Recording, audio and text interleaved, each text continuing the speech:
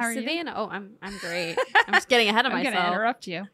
I'm Savannah. And I'm Elysia. This is Burden of Proof. Welcome everyone. I'm doing well. How are you? A little allergy today. I'm gonna make a disclaimer today. Yeah. I feel like garbage. I'm not sick. I'm just tired. Yeah, you said you hadn't Did slept. not- I did not sleep well.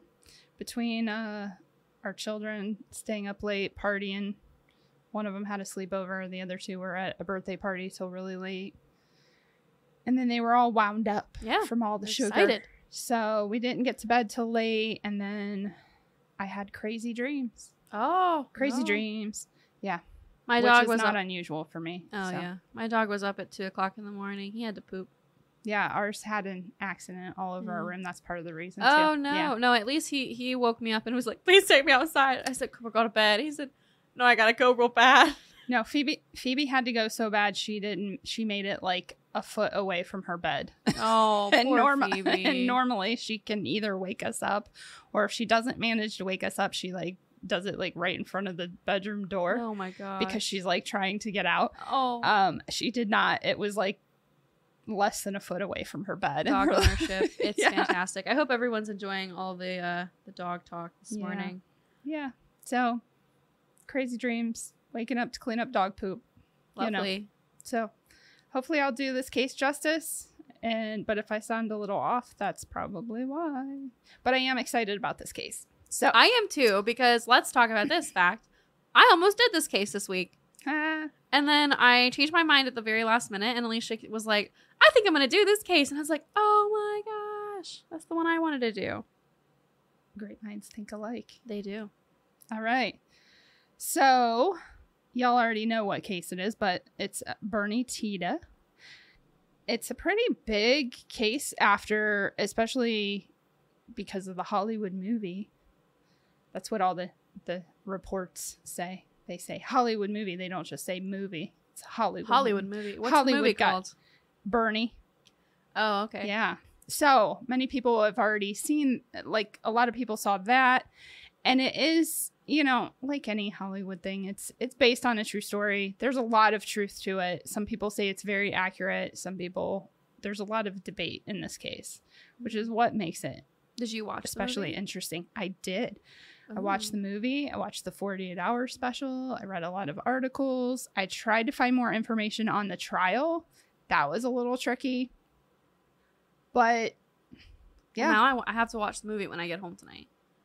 It's interesting because it's supposed to be a comedy. I just realized that the air purifier is on, so if you can hear Yeah. that, I apologize. Our apologies. I just turned it off. Hopefully that's better. noise. We'll try and the room, the, the studio that we're in is really hot, so we have like tons of fans, Fans. going, and normally we make sure to turn them all off. But that one is my responsibility, and I forgot. So no worries. shame me. It's okay. I'll do my best to edit it out. All right, so let's jump right in. Bernie's legal name is actually Bernhardt Tiede the Second. Wow, that is, a name. Quite a name. Bernhardt Tiede the second. Yes, he was. I like the name Bernhardt. Yeah, It's, like very, Bearheart. It's Yeah. very Scottish. Yeah. Um, he was born August second, nineteen fifty-eight, to parents Le- Leela. I'm not sure if it's Leela or Layla May Jester, and his father, of course, was Bernhard Tiede, the first. First.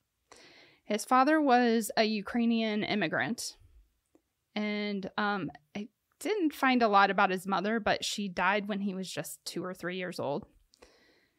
Um, apparently, in a later interview, I saw that he actually talks about her death and that his father sort of blamed himself for the death because it was a car accident. Mm.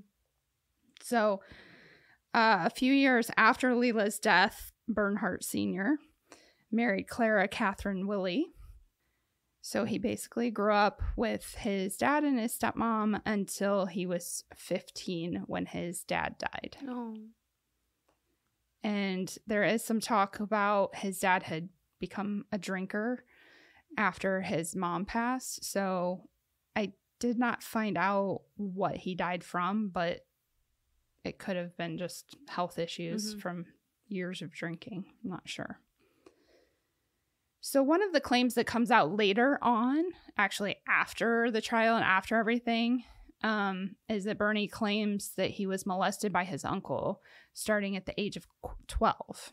Of course, his uncle says no, that didn't happen, but you know, Wait, like yeah. what's he going to do? Say, oh, yeah, I totally did that. Oh yeah, big old pervert right here. yeah. Ten o'clock. So it was because of losing so many loved ones at a young age. He was very compassionate and understanding of death and then the comfort that those left behind needed. Most teenagers aren't Yeah. capable of that. Yeah. They're not ready for that level of emotional intelligence. Um, so it led him to become a mortician, and he actually thrived at this. He was fantastic at it. And he moved to the small town of Carthage, Texas, got a job as an assistant funeral director. I know an amazing funeral director. Who's you like, gotta be a special person Oh, to be yeah. a funeral director. oh yeah, and he's not creepy at all. He's really funny. Yeah. So that stereotype is not true because there are great, Yeah. not creepy morticians. well, yeah. I mean, directors. and I don't think people like I I'm sure that I felt like I had heard this before or seen it because now there's even like reality shows of people that run funeral homes and stuff.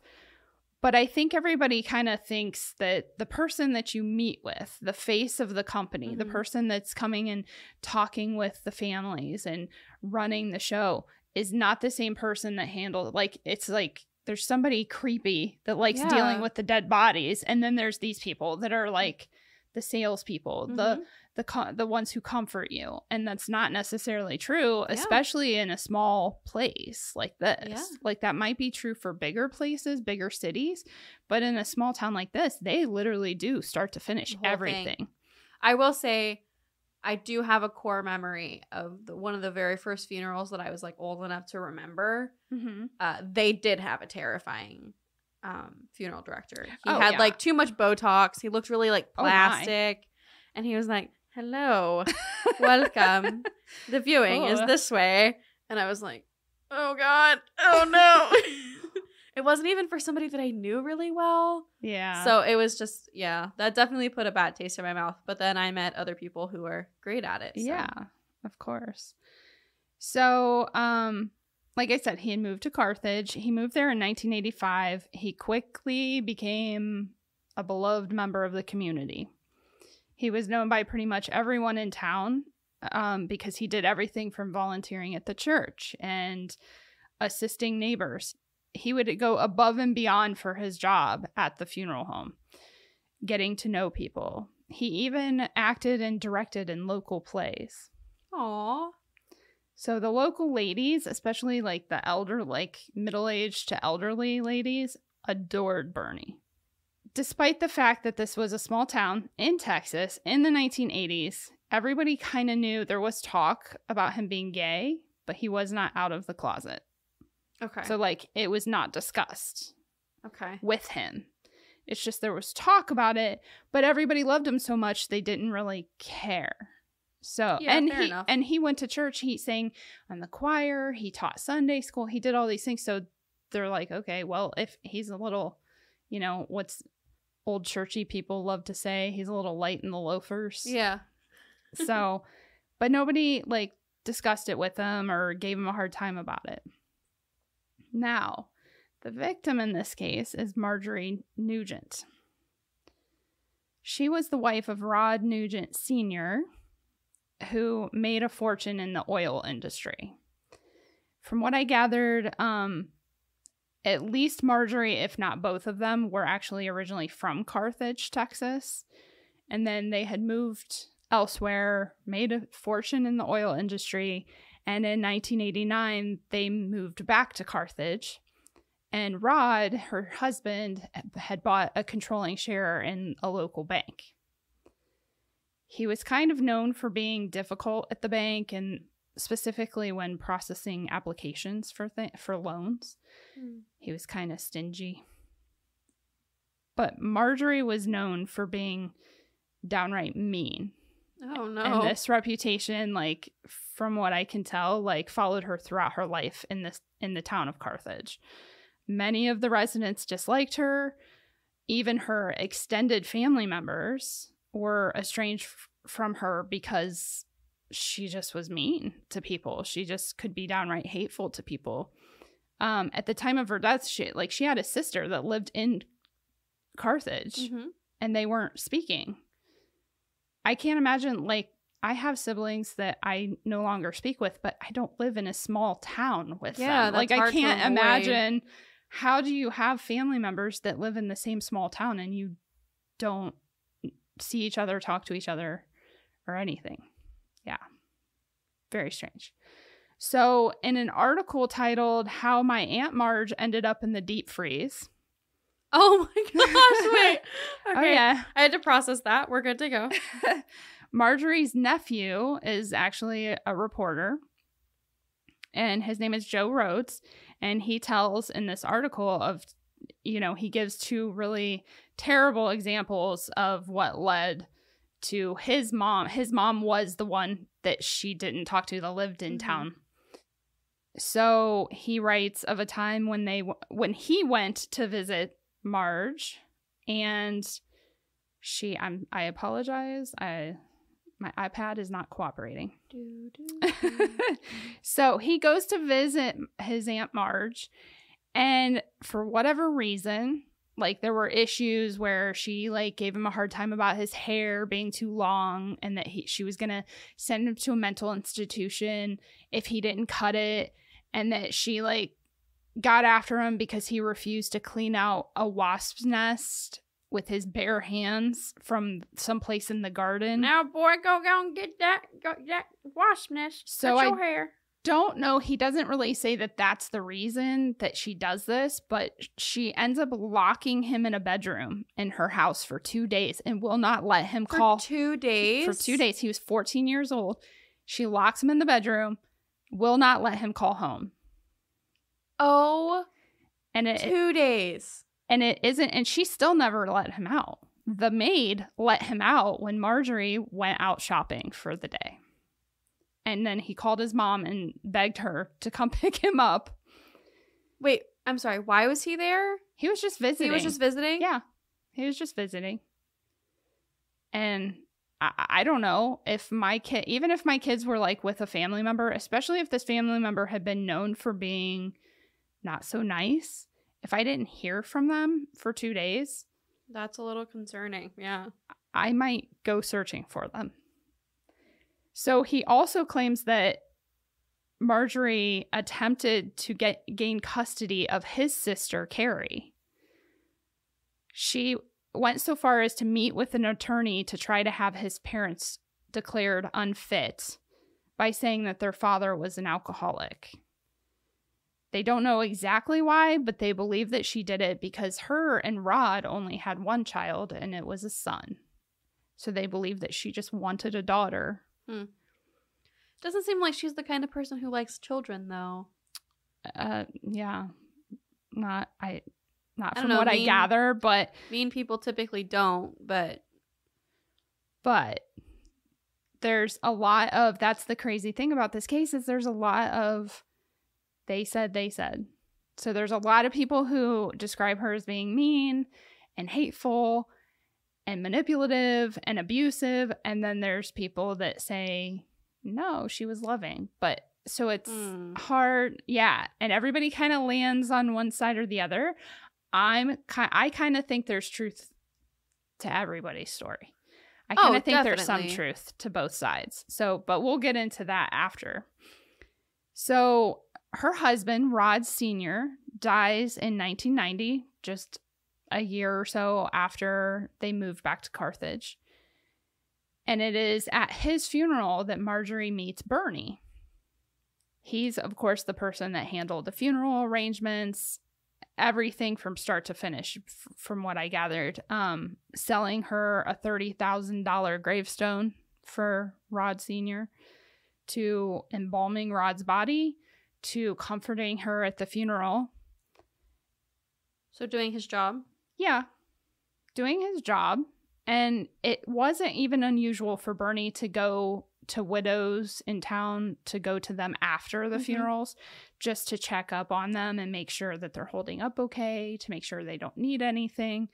That wasn't unusual. What was kind of unusual was that Marjorie was, I mean, at best, even if you didn't think she was hateful and, you know, borderline evil, she was a bit curmudgeon I know you don't like that word. I'm sorry. I'm not a huge fan of that. No, but I but I think it does accurately depict what it means. like Yeah. you know what you're talking yeah. about. So she was difficult. He goes to visit her and check up on her, and she doesn't make it easy. You know, most of these women would gladly let him in and talk and wa- want the company, and she turns him away at first. But this is what's unusual. He was persistent. He kept going back until I don't know exactly how many times, but he was, like I said, he was persistent. It wasn't too long before she does accept him. She does accept his company, and he becomes her regular companion. Now, the other unusual thing about this is that at the time, Bernie was in his mid 30s and Marjorie was in her mid to late 70s. Oh, so she's Oh, 40 years his senior. So people in town, of course, start talking about this Yeah, because it's weird. because they're like, okay, a 30 something year old guy hanging out with an old widow, an old widow that's worth millions of dollars. I was gonna say, didn't she buy a thirty thousand dollar headstone? So Yeah. she's got to have. Some. And like I said, her husband, oh yeah, her husband was in the oil industry. Yeah, so they were, so- wor- she was worth millions. Oh my gosh, that that's just anytime I think of oil people, I think of that skit with Adam Driver and SNL that just makes me laugh so hard. this dead bird. Go watch it if you haven't I, watched it. I think I did. I think you showed it. Oh, I'm me. sure I have because I quote it like twice a week. Go watch it. It's the. I think watch it. honestly, after all of the SNL skits I've seen, I think that might be my favorite. Your all-time favorite. Uh, my all-time favorite. Wow, Yeah, that's impressive. it's okay. so good. So initially, Sorry. I should we have a moment of I silence? so started can- laughing. We got to give Savannah a minute so she can get all her laughs I'm out. sorry, it's such a funny skit. and so you shall. Okay, I'm good. So, what began as a regular lunch and dinner date kind of companionship fairly quickly turned into traveling the world. Oh, Like they would travel all Well. over extensively together. I mean, and- friendships are found in weird places. Yeah, I mean, it's it's definitely one of those things that people would look at and go, "Well, that's kind of strange." But many people did say, despite the fact that they didn't like her, that she seemed happier than Mhm. she ever had. She she was having a ball going on these trips and having him as a companion. So that eventually leads that to Bernie quitting his job at the funeral home in 1993 to work for Marjorie full time. Hmm. She hires him to basically be kind of everything. I mean, he was kind of her business manager. She gave him power of attorney.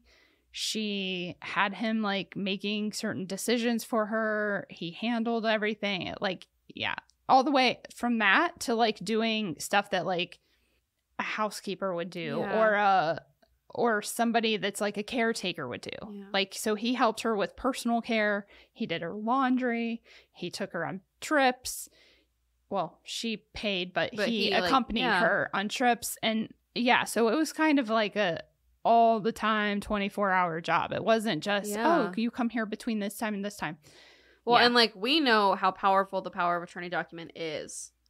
Yes. Yeah. Yes. When I like signed my own because I have my documents done even though I'm 20. When I like went over that with our attorney, I was like, "Holy crap, I did not realize how all-encompassing." That's why it's That is. so that's why when clients come in and have that do their whole plan and they are always so quick to be like, "Okay, so should I give so and so these documents?" And our attorneys always no. No. no, absolutely not because the durable power of attorney is in effect the moment that you sign it and that means they can use it if you give it to them, even a copy to them, they can start using it. They could go to your bank and say, "Okay, here, I have power of attorney. Now, I want to take all that money out of her bank." They yeah, Yeah, it is very ugh. powerful. It's a catch 22. If you don't have it and then you start to lose capacity to the point that you're not able to sign legal documents, then, the people that you want to or that are trying to help you have to go through this whole other lengthy process of getting guardianship over you in order to make those decisions or assist you in any way. allegedly So, yeah, in Minecraft. Ass- assuming that they assuming that they're doing it correctly. But if you have it, then Yeah. yeah. it opens the door that if you're not very careful with it, people can it's take a scary advantage. thing. Yeah, for sure. So just to put just to like kind of cuz when you say travel the world, it kind of you think, "Oh, well they took vacations." They went to And- Europe. Yeah. And they did. They did take vacations all over the world to Europe, to even to India, I think. Mhm.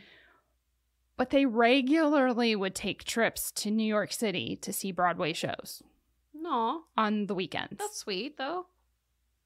yeah, it just gives you but it gives you perspective of like how much money she really Oh, Yeah, that's true. that she can fly them like and he says in a later interview, "Oh yeah, we used to we would fly up on a Friday and come back on Sunday." hmm Like it was just Normal. just a quick weekend trip from Texas to New York. So, and she even paid for Bernie to uh, get his pilot's license, and she bought him at least one plane.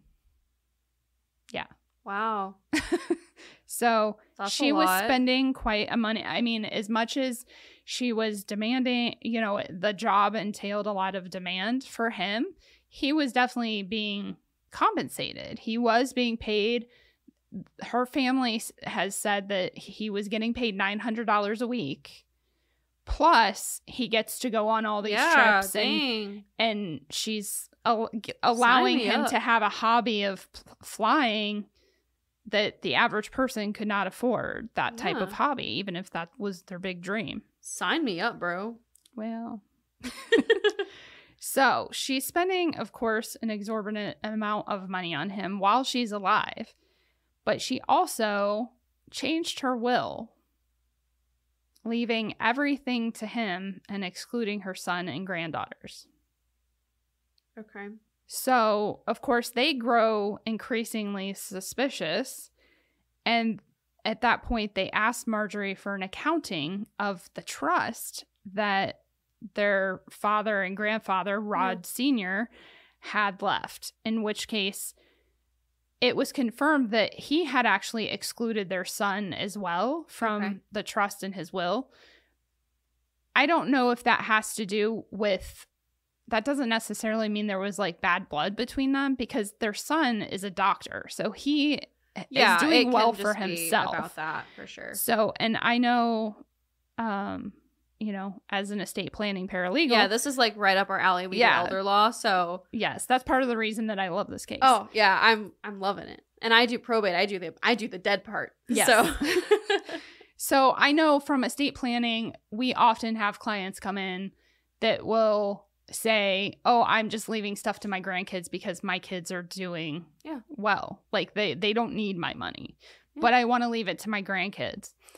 Um so that isn't necessarily unusual, but apparently this trust that Rod Sr. had was supposed to be the grandchildren were supposed to be the beneficiaries af- at least after Marjorie, if mm-hmm. not like during that time and she wasn't giving them any money.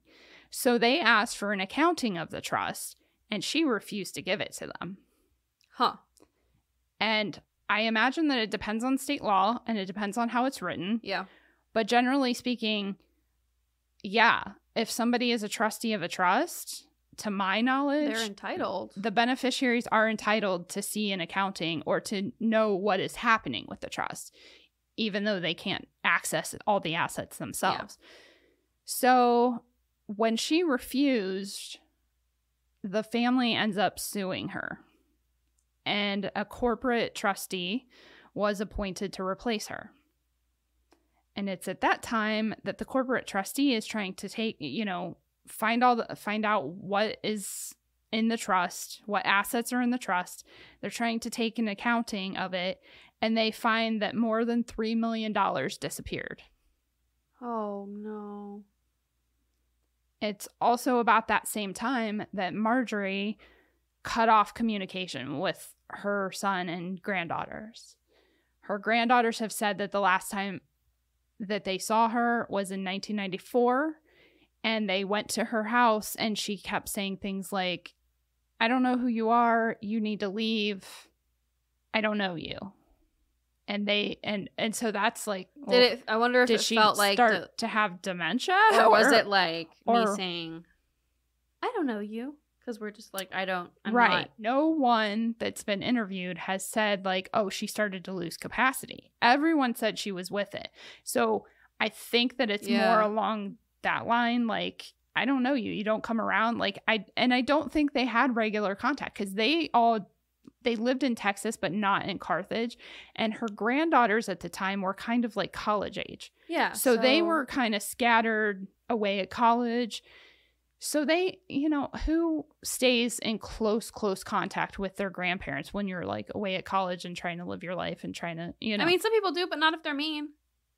Like, I'm not True, saying that by but the granddaughters means- swear that she wasn't mean. They're the people that swear Oh. that all of this stuff is lies. So, I don't know, man. Elder abuse is so wacky because it's they're they're so easy to take advantage of. oh, absolutely. It's so it's so hard to watch. Yeah. And it can be so subtle. Oh, absolutely. And it's never it's never the people you think are going to do it either. Yeah. And it's always who they trust the most. Like I we've seen some horrible stuff come in and out and Mhm. it's so scary. Yep.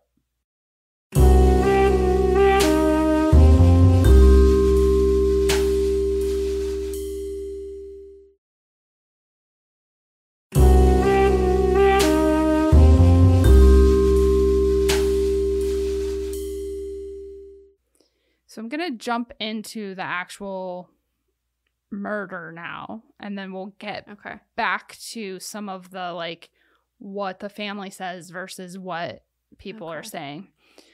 Okay, so in November of 1996, Bernie ends up shooting Marjorie four times in the back. And then he places her body in a chest freezer that was located in her pantry. Okay. Um ouch. Yes. She must have been pretty tiny. Yeah, I think she was. She looks relatively petite Yeah. in picture in photos.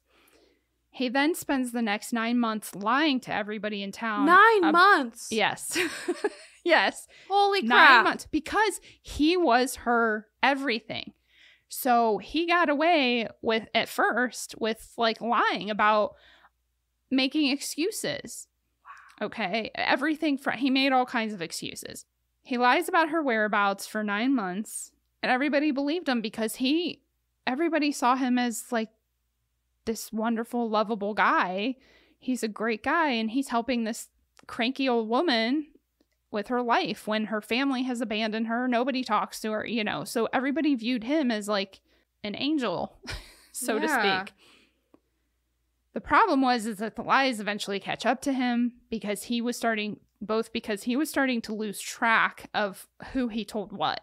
Because some people he told that she had a stroke and couldn't talk, like he would tell like her Oh. professional people, uh, like her um, Yeah. financial advisor. That's one of the excuses that he gave him as to why she couldn't talk on the phone was that she had had a stroke and she couldn't talk right now and that she was away at, in like a nursing facility for rehab after the stroke some people he told them that she went to ohio where her other sister because she had two sisters and that she was visiting the other sister that lived in ohio Yeah, the problem with that story is that somebody could talk, contact the sister.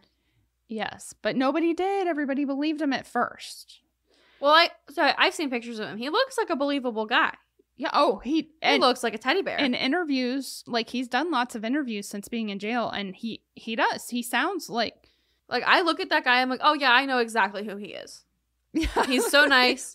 he's so He and makes great potato salad. and he's got the gay lisp. So yeah. he sound he doesn't sound if you just looked at him and or even heard him speak and then were told with no other information. He shot this woman four times in the back. You'd be like no. No. no way. And so that's that's how the whole town bought it. Like the whole town thought there's no there's no way like even when uh, some people started speculating like i wonder if something weird's going on here. Other people were totally on his side and said there's no way bernie would do that. Oh there's no way. And so By the way, sorry. That's one more, okay. One more interruption. I just looked at pictures of the freezer. I will be posting them with our photos on Instagram so you can follow them there. yeah It's not even that big of a deep freeze. no Like wasn't. I was picturing a longer deep freeze. It's much more shallow, like Yeah. shorter. yeah no it wasn't very big because it was in a little pantry Yeah. Ugh. so gosh. So, like I said, he was beginning to forget kind of like keep keeping track of like who he told what. And it really was like the hired professionals in her life that started really questioning. Like Oh, because we're- deeply questioning. Because we're trained to look for that. yeah. Oh, absolutely. Particularly her financial advisor was Oh. the one. Don't even get me started on financial advisors because they always know. They know everything. Oh yeah. everything. They know all the drama. They know exactly who is what. We it's, Well, yeah. Oh yeah, they know everything. They're the first people. So some of the things that he that tipped him off were that suddenly more far more money was being spent every month than previously And Like, literally tens- of thousands of dollars more Wow. Come on, be subtle. because well i'll get to the because don't let me forget to get to the because Okay. then marjorie failed to show up to sign some important documents and though th- more money was being spent marjorie's bills were not being paid not all of the bills so he was forgetting some of the bills Wow. Okay. Yeah. That's stupid. So the financial advisor really pushes the issue. Marjorie's family then gets involved again and notices like we haven't been a- like yeah we haven't talked to her or seen her since 1994 but now we're trying to contact her and we cannot reach her Yeah. so they file a missing persons report and on august 18th 1997 officers and her family go and essentially Yeah. break into her house and find Marjorie in the deep freezer. Oh, I wonder who thought to look in the deep freezer. Actually, what tipped them off was that it had been taped Oh, I saw that in the because picture. they're looking, yeah, they're looking around for just evidence of like where could she be, and it it was obvious that no one had been in the house because Bernie had his own house. He didn't live with her. Oh. He had his own house. Okay. So he wasn't like I thought he living in her there. house and living it up. He and actually a lot of the money that he spent, so I will go back to that. A lot of that money that was being spent after she Yeah. after he killed her wasn't even on himself. He was like buying stuff. Like he bought cars for people in town that needed new cars. He invested in like two different businesses in from town, like people in oh, town oh, that wanted to start furthering that businesses. narrative. Yes. And then he gave like he bought somebody in the movie. I didn't read this in an article, but in the movie, the the Hollywood movie. The Hollywood movie. Somebody says somebody that they interviewed said that he bought their kid like this huge like playhouse thing for their yard. Yeah, he was just going around like doing all these good deeds and nobody in town questioned, "Where are you getting all this money, Bernie?" like how do you suddenly have she's gone and you mm-hmm. suddenly have thousands tens of thousands of dollars to spend And he like, here's my thing. You he could have done this so much smarter. oh ab- Like- yeah we'll get into that we will so get into that we will Okay, okay. because uh, that's what Okay. that's part of why people didn't believe it either like even once her body was Yeah. found they didn't want to believe that he like that it was because that it was as bad as it was because they're like there's so many things that don't add up Yeah. like why it would be done this way if it was premeditated Yeah. I want to know who opened the freezer because that is who I would be. They are going to be my friend because that's, I would have thought, oh no, that's not good. We got to open that. I actually, um, I'm not sure. I know that one of the granddaughters was right there when it was Oh, open. I don't know if she opened it or if the sheriff opened yeah. it.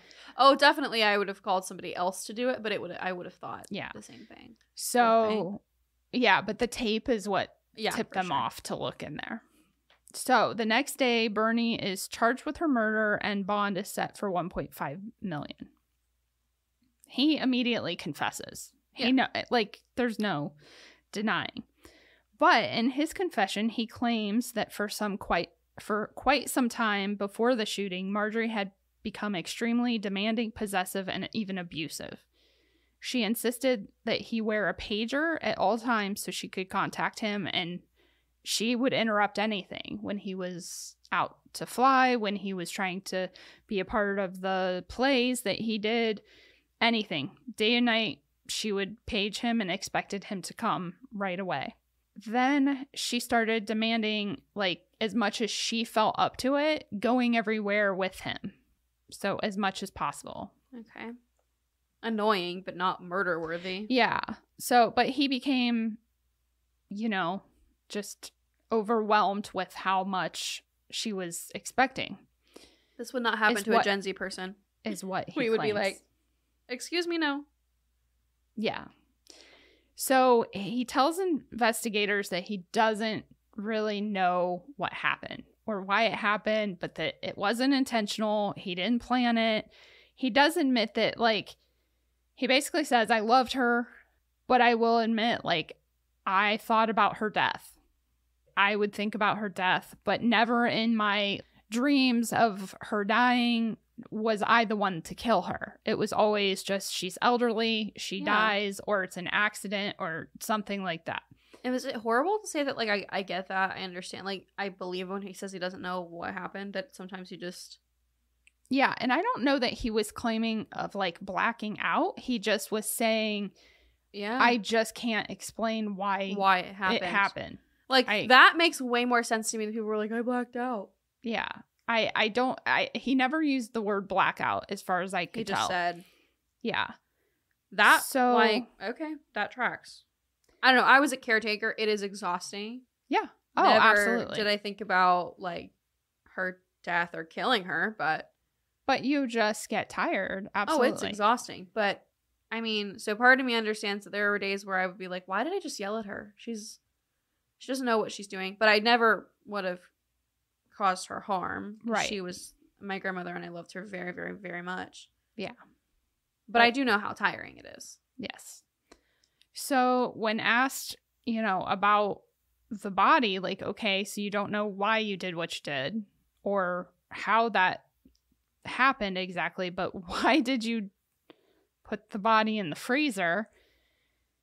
And this actually tracks with his whole thing, Yeah. if you think about it, because he says he didn't dispose of the body because everyone deserves a proper burial. And so he was just waiting until a time that he could give her a proper burial. The thing that doesn't track with that is some of the things that other people speculate or question, which is okay, so you were going to wait till you gave her a proper burial, but you had nine months, number one. Number two, basically, people think that he maybe wanted to get caught, and that's why he left her in there instead of burying her somewhere Yeah. because some of the locals would say, why didn't he just suffocate her with a pillow? Because she is 80 years old and had heart problems. So if he had just, he had access to her house at all times, he even though he just- didn't live there, he could have just suffocated her with a pillow.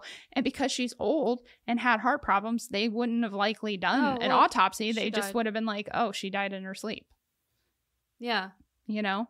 Well, they might have still done. They might have still done an autopsy because anytime, I think, circumstantially, anytime anybody with money or any kind of fall, I know Yeah. even if she's Well, I suffocated know with the pillows, she has money. Yeah. The medical examiner might have said, mm, Let's check it out. "Let's check it out anyway." Like, Well, and I don't doubt that her family would have stepped in and re- requested one. Yeah.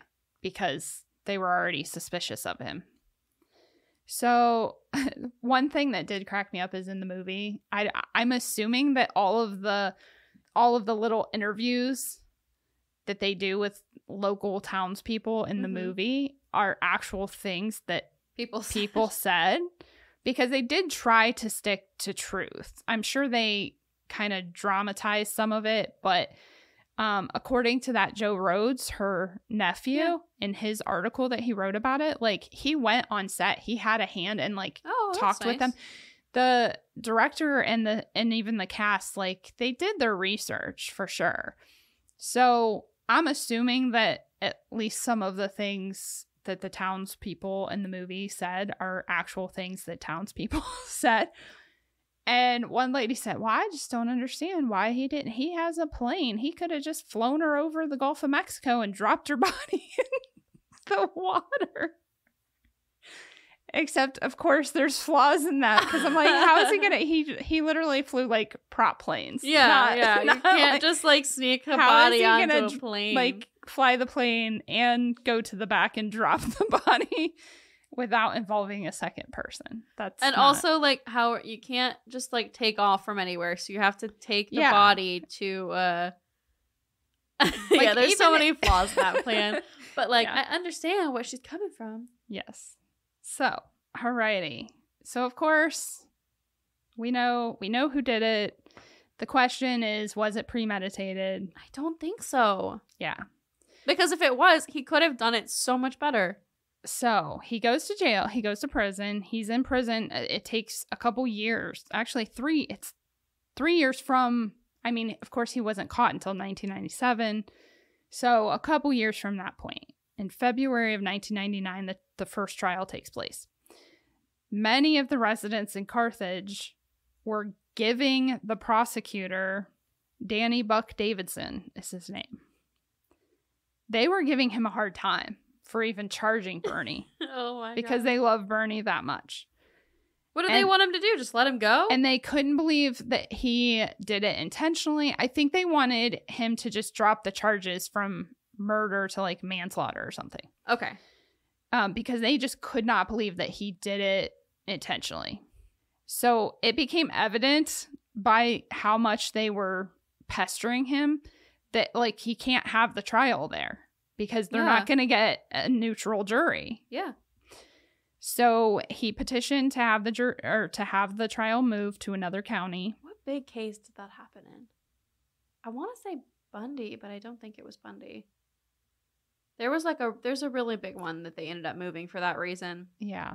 Sorry. I'm trying to think of it. I, I haven't done extensive research on Bundy, so I don't remember, Mm, but that doesn't sound right. yeah. But yeah, I get what they're saying. A lot of it is just showing proof of was this him taking advantage of her or was it just as he said, which is no, I enjoyed her company, but it became abusive and then I snapped and then okay. But in February February 9th, 1999, the jury finds Bernie guilty of murder. Oh yeah. OJ Simpson. Oh, and it's called change of venue is the legal phrase. yes, Change of yeah. venue. And it was OJ. Yeah. No, that's right. I'm old enough to remember that. I remember right where I was when I watched the Bronco chase. Oh my gosh. I was at my uncle, my great aunt and uncle's house in Tennessee. That was right around my birthday too. wow. It's like happy, birthday. Happy Car birthday chase. to me. Um yeah, he's So- out now. Living his life. OJ, if you're listening. Oh yeah. Um, but yeah, they had a change of venue. I'm yeah. But of course they convicted him That was murder. such a huge case though. Like you had to. you have to, but even that would be difficult. Like where do you go? Cuz everybody knew. I mean, that was such a huge case. Uh-huh. So, okay, don't get me started talking on that. Stay Um, focused. But obviously he got convicted of murder. He did it. Yeah. He admitted he did it. Yes, but it was like I said, it was a difference of was it premeditated or Yeah. not. So yes, they, f- the jury said yes, and oh, they three, did. yeah, three days later he was sentenced to life, and had a ten thousand dollar fine. Do you know why? Um, I wasn't sure if maybe their their final statement said what suggested that it was premeditated. I don't recall exactly, but I think it was just the evidence. It does look really bad. Like you're Well, and he had stolen money from her before. and h- yes, Documents were changed. He had power of attorney. Like all Yeah. of that stuff it looked looks bad. super bad. Yeah.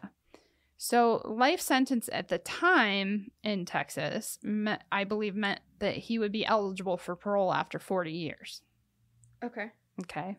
Now, this is where Hollywood enters the picture. Years later, in 2012, director Richard Linklater released the movie Bernie, starring Jack Black Oh, I've got to watch as that. Bernie, Shirley MacLaine as Marjorie, and Matthew McConaughey as Danny Buck Davidson, the This prosecutor. had some big names. Yeah. This was here. It's weird to me. They did their research, but and so it's supposed to be true, but it's also like a dark comedy. It's supposed to be a comedy. Now Well, I tell you, there was only a couple times that I laughed, and most of the time I just felt uncomfortable. I'm not gonna lie, because it's Jack Black. You're like, this is a comedy, right? Except you're like, this is a true crime. But this How is very funny. this is not funny. Why is this? I I just I felt very weird watching the movie. Well, I know what I'm doing tonight. Nicholas is working, so I will be watching. Yeah. So they did, like I said though, the cast, even Jack Black went to the prison and spent a lot of time interviewing Bernie himself so that he could get a feel Wow. for how he's supposed to act and how uh, Bernie felt at that time and Wow. all of it. Bernie is free on YouTube and Peacock Yes, yes, it and is. Amazon Prime Video. Mhm. There you go. It is. So Linklater um and and the cast are having these moments there. They have Joe Rhodes, the nephew, nephew. of Marjorie, come on set while they're doing which he said was like surreal seeing Shirley MacLaine. It was really like being there with his aunt again. Wow. Yeah. Well, that's good. So, according to some people, the Hollywood movie represented was fairly accurate in many, many ways. But Marjorie's son and granddaughters, of course, were very upset by the movie and started to speak out. They insisted that they were not estranged from her, even though they hadn't seen her since 1994. Which I'm like, do you not understand the word estranged? Um, they say that all the talk of her being horrible and hateful is nonsense, that she was very loving. They have even um, started a website, marjorienugent.com, in which they post like family photos and but I find it very interesting because you'll just go visit the site because you read it and you're like, but you don't really like you have some photos, but there's no like descriptions of the photos or like this is at our family reunion or this is like there's Yeah. not a lot of detail into why it is that they say she wasn't mean or wasn't horrible. They just say she wasn't. But Huh. yet everybody that claims she was mean and was horrible has has examples. examples. So I found that very Yeah. interesting. And I'm not saying that the, the two can't. They're not. They don't. They're not mutually exclusive. She could have been very loving with her family and her granddaughters, True. but then with everybody else, she was not. True. So her granddaughters to this day claim that Bernie killed Marjorie because he was already stealing money from her and he was about to get caught. Okay, fair enough. So that is their story. They're sticking to it. I don't know if it could be it, but it could be all of it. I that's how I feel about it. Like I I could not pick a side. I'm not going to pick a side. I'm not going to say, "Oh, I think Bernie is this really great." I think it's entirely possible that Bernie never intentionally like I don't know that he started the relationship and started hanging out with her because that was his goal. But money does strange things to people. Yeah, it does. number one. And number two, like you said, like she could have been loving and kind and whatever. Like she obviously, as the family, the extended family says, she went so far as to see an attorney and try to get custody of her niece. And they think she just did it because A, she didn't have a daughter and she wanted a daughter, and B, she didn't like her brother in law. Yeah. So if she always wanted a daughter and then her only son has three daughters, of course she's going to be kind to you. Like, I mean, she would have no reason not to be kind to you. Yeah, it's so interesting. But that doesn't mean she wasn't unkind to other people Yeah. in her life. So I, yeah, Well, I don't know what to think. no, me either. So after the movie's release, um, it, I believe it was actually at the initial showing. They opened it in Austin, Texas, where Linklater is actually a resident. Um, appeals attorney Jody Cole approached him to ask if he had any more information on the trial because she believed there's something more here. There's something that that they missed in the trial that would have shown that it wasn't premeditated, that there were mitigating Oh my gosh. okay. factors. So Linklater gives her his box of research that included the transcripts from the trial.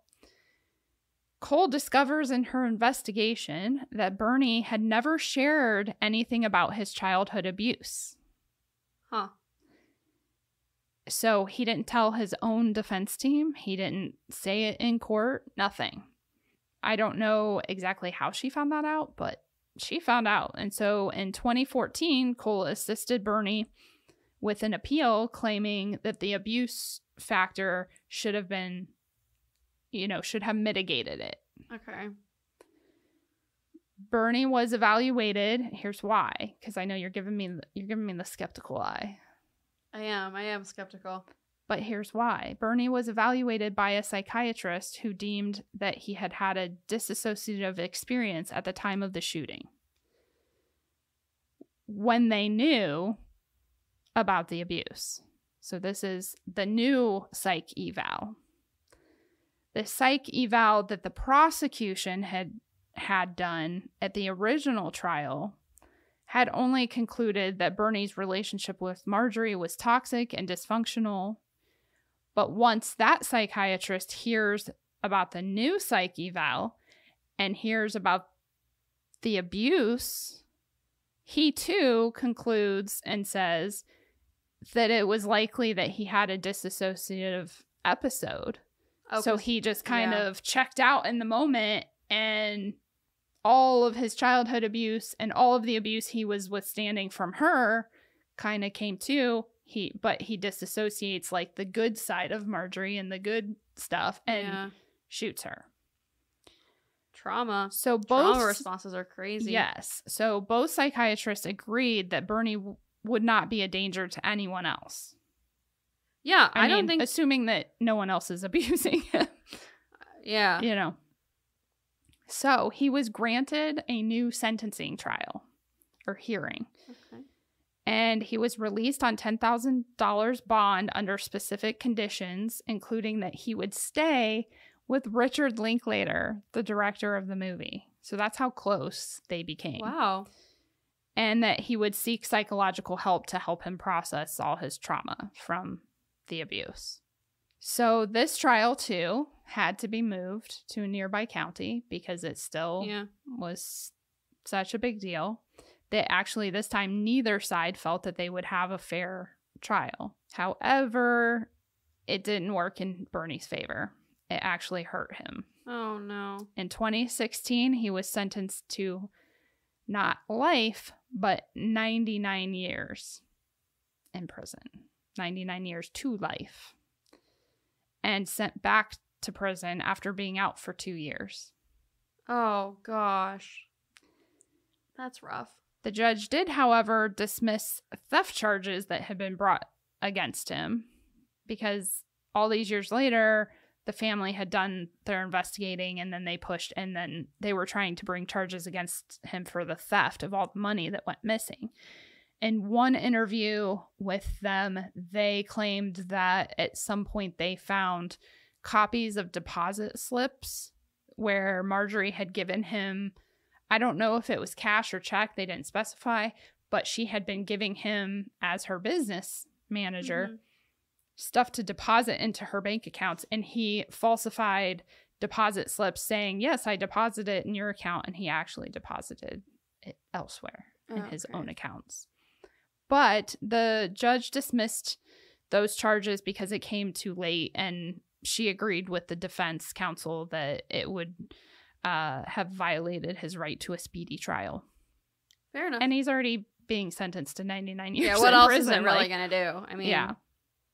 So in 2017, Bernie appealed yet again, claiming that the prosecuted uh, reneged on the agreement to a lesser sentence at that time and that his confession was illegally obtained because I don't know what the details are on that because like I told you before we started recording that it was difficult to find in in the appeals. It just there wasn't it was weird reading the Texas appeals. Like it, they were very brief. There wasn't as much detail as there usually is in other states that I've read appeals. So I'm not sure what the details are behind his claim that they were illegally obtained but as far as the movie went, as far as 48 hours went, as far as his interviews after the fact went, it seemed like he was always pretty open. So I don't know yeah.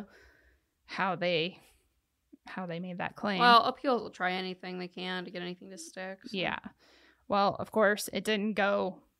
They said no, and they affirmed his 99 year sentence. Wow. So Bernie is still in prison today.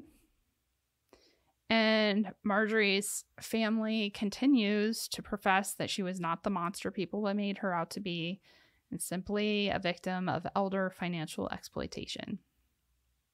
I don't even know what to say. I know. I don't right? know how I feel. I know, right? Pretty crazy. That's a wacky one. Pretty crazy. Well, I think you did a great job. Thank you. I didn't get it's one definitely one of those cases you can dive in deeper and, you know, draw it out because there's so much he said, she said. Yeah. Stuff back and forth, but I like I said, I was so on the fence. Like if I had fallen on one side or the other, I might have gone that route, but I'm so yeah, on the like it's I'm not saying Bernie Tiede. I will say when you watch interviews with him, he does come across as a very sincere guy. I don't know if he really is that manipulative, but like most people tend to believe him. And I don't believe that he was like an evil person who just like dreamt this up. I think yeah. that it was genuinely Yep. Just the straw that broke the camel's back happened and yep. I kind of fall on that too. And like, I think I definitely I think, think there's something to the theory of him wanting to get caught and not giving her a proper yes. burial because he didn't he still like he still to this day in interviews will cry about it so i think he genuinely did f- I agree with that yeah. i agree that there was a part of him that wanted to probably get caught because he felt so guilty about it and he was christian and he very much was you know yeah. and he has since come out as gay. Like now he'll openly say, Yes, I'm a gay man. But at the time he didn't. And so I can only imagine that's another factor to consider in my book is that when people are living in the closet, so to speak, yeah. the amount of stress and anxiety oh and gosh, yeah. depression that they experience because just because they're not being open and honest with themselves or anybody else around yeah. them, that alone is a lot to handle. And then when you have somebody you're in this relationship and they're borderline abusive and God only knows what she said to him. Like uh-huh. God only knows if she ever said anything derogatory in that respect. We don't know. Her family says, "Oh no, she was very much in love with him and he took advantage of that." He says no we were just really good friends and companions so i was gonna say are they dating or were they like to him he says no there are some other witnesses eh, that are not family members that do say that they would see them together and that it it appeared more like a romantic relationship yeah. but then other people said no he was just very lovey and that's just kind of how, he, how was. he was so but the man talks and you can clearly i mean he's not a guy that could have hidden even though he was technically in the closet. Yeah. Like he wasn't hiding it well. He, he talks with that classic lisp. He loved Broadway. He acted. He he did like all yeah. the all the typical stereotypical things, especially for back then.